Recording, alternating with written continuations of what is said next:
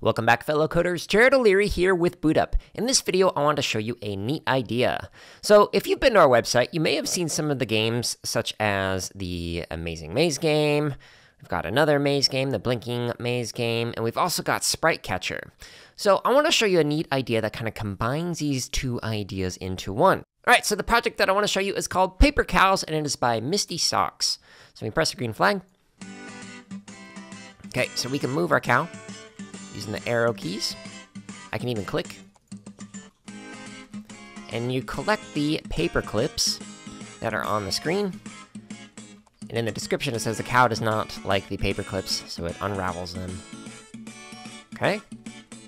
So this is combining the player controls. Change this.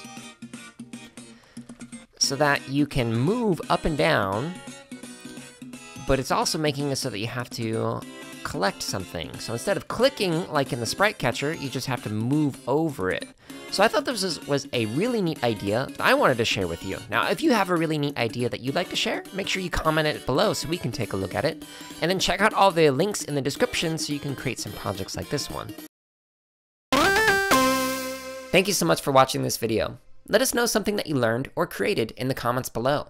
And make sure to subscribe, like, and check out the links in the description for even more free resources, such as videos, free lesson plans, and our podcast.